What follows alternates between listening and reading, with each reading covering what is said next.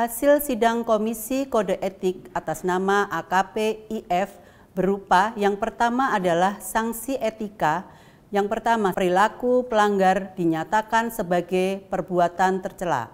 Kedua, kewajiban pelanggar untuk meminta maaf secara lisan di hadapan sidang KKEP dan atau secara tertulis kepada pimpinan Polri dan pihak yang dirugikan.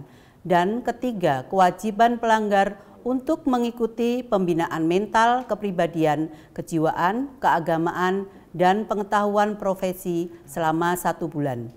Kedua, sanksi administratif berupa mutasi yang bersifat demosi selama satu tahun semenjak dimutasikan ke Yanma Polri.